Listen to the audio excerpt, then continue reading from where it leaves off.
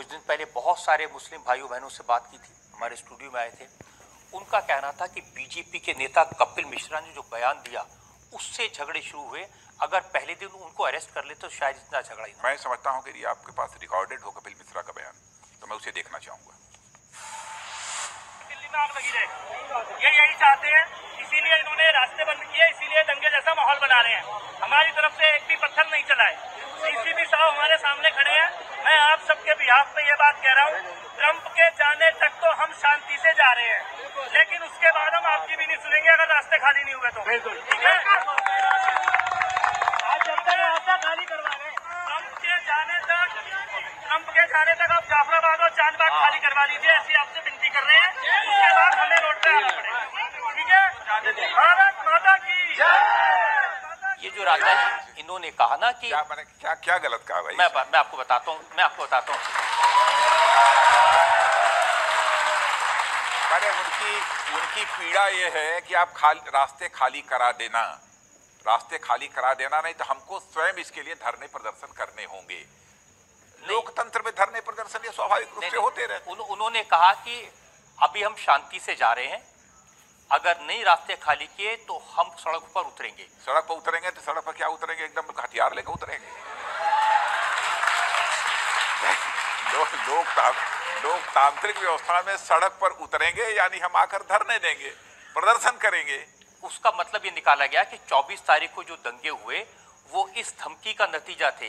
सड़कों पर उतर आए और लोगों को मारा। क्या बात इसमें कहीं पर जो है दंगे से कोई लेना देना नहीं है। अनावश्यक जोड़ने की कोशिश कुछ लोगों के द्वारा की जा रही है और जो लोग कर रहे हैं वो वो बद बदनीयती इसके पीछे दिखाई दे रही है। इस स्टेटमेंट में मुझे ऐसा कुछ नहीं दिखाई देता। इतने लोग बैठे हैं पूछिए। किसी को दिखाई देता हो कुछ? सर आपकी पार्टी में एक बहुत खास चीज़ है। आप डिफेंस बहुत अच्छे से करते हैं। सर कल सदन में अमित शाह जी ने बोला वो वारिस पठान के बारे में तो बोलेंगे पर वो अब कभी भी कपिल मिश्रा के बारे में नहीं बोलेंगे कि उन्होंने गलत करा। आप भी आप यहाँ पर भी इसी काम को कर रहे हैं आप अच्छा वैसे कर रहे हैं। वैसे वै, वैसे कपिल मिश्रा के बयान में मुझे सड़क उतरने का मतलब? सड़क पर उतरेंगे का मतलब यह होता है लोकतांत्रिक व्यवस्था में कि हम सड़क पर उतरेंगे यानी धरने देंगे प्रदर्शन करेंगे। यानी हम लोकतांत्रिक तरीके से प्रशासन के ऊपर प्रेशर बिल्डअप करने की कोशिश करेंगे कि यह सब सारा जो कुछ चल रहा है यह रास्ते जो रोके गए हैं, ये रास्ते खोले जाने चाहिए, नहीं तो प्रशासन के ऊपर हम दबाव बनाएँगे। इसका मतलब यह होता है। लेकिन राजनाथ जी, इसका अर्थ लोगों ने ये निकाला और वाकई में बड़ी संख्या में लोगों ने, अगर आप सोशल मीडिया पर देखेंगे, लोगों से बात करेंगे तो मुस्लिम समाज है, उसके मन में ये है कि कपिल मिश्रा जो कहा वो एक तरह की धमकी थी, हम सड़कों पर उतरेंगे और नहीं देखिए क्या परसेप्शन बना उसकी उसमें मैं नहीं जाना चाहता। लेकिन जो कुछ भी मैंने देखा है उसमें ऐसा नहीं है कि उन्होंने कहा कि हम दंगा भड़का देंगे या हम उनको मार डालेंगे काट डालेंगे ऐसा कुछ नहीं कहा है। उस पर केवल मैंने कहा परसेप्शन क्या बना वो बात अलग की है। ये एक पृष्ठभूमि है क्योंकि इनके पहले अनुराग ठाकुर पब्लिकली कह चुके थे देश के गद्दारों को गोली मारो सालों देखिए ऐसा चाहे जो भी हो मैं उस नारे से कतई सहमत नहीं मैं उससे सहमत नहीं। कोई देश के अल्पसंख्यक समुदाय को आतंकवादी कहे अथवा कुछ भी कहे गोली मारने की बात कहे ऐसा कुछ नहीं। लेकिन जो मैंने देखा उन्होंने ऊपर से नारा लगाया गोली मारो की बात नीचे के लोगों ने कही। जो मैंने देखा।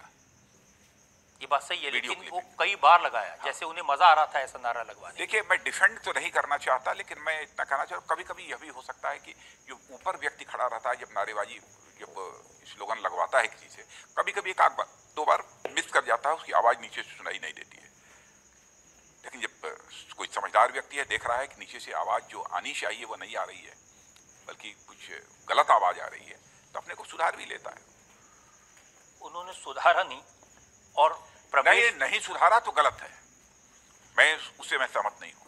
किसी को गोली मार दी जाए किसी किसी की जान ले ली जाए। इस प्रकार के नारों से मैं सहमत नहीं और राजनाथ जी प्रवेश वर्मा मेंबर ऑफ़ पार्लियामेंट हैं जिम्मेदार व्यक्ति हैं।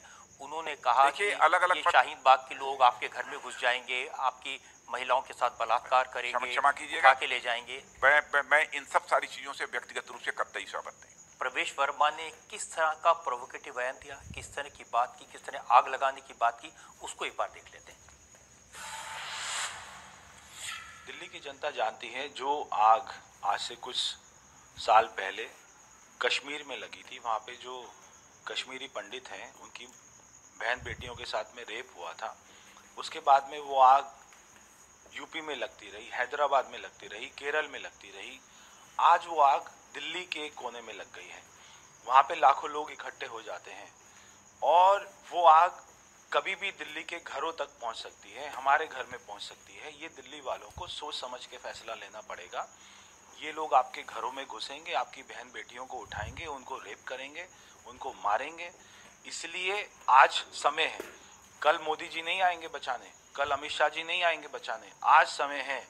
आज अगर दिल्ली के लोग जाग जाएँगे तो अच्छा रहेगा। नहीं, मैं इससे सहमत नहीं। सहमत नहीं। ये शाहीन बाग के बारे कर बात कर रहे थे उसी शाहीन बाग के बारे में। गिरिराज सिंह उन्होंने क्या कहा? शाहीन बाग आत्मघाती हमलावरों का अड्डा बन गया है। सुसाइड बॉम्बर्स का अड्डा बन गया है। मैंने अलग अलग लोगों के विचार हो सकते हैं सोच हो सकती है लेकिन मैं सहमत नहीं हूँ। हमारी सोच बहुत स्पष्ट है। लेकिन लोग पूछ रहे हैं कि इन लोगों के खिलाफ कोई एक्शन क्यों नहीं लिया पार्टी ने?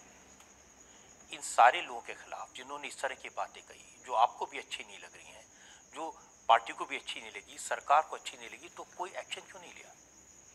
नहीं पार्टी पा, पार्टी को उसमें भी कोई ऐसी बात रहेगी तो पार्टी जहाँ आवश्यक समझती है उसके खिलाफ कार्रवाई करती है।